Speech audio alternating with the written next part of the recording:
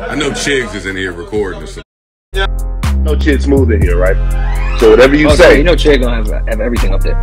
whatever you say, Chid's gonna be on YouTube with it, man. I like you. Come on.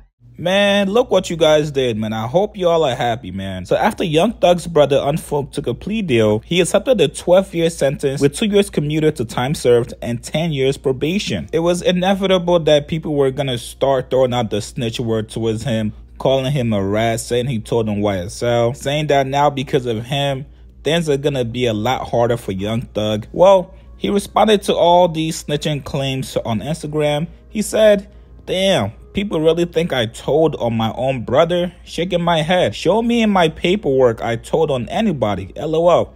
I'm not even finna entertain any of it. Peace and blessings.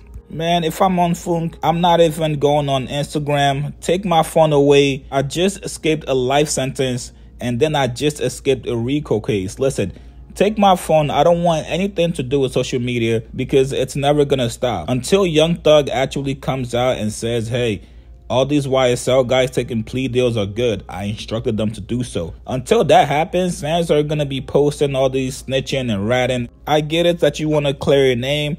Honestly, nothing is gonna clear anybody besides Young Thug. So even if you take to Instagram to make a statement, fans do not care.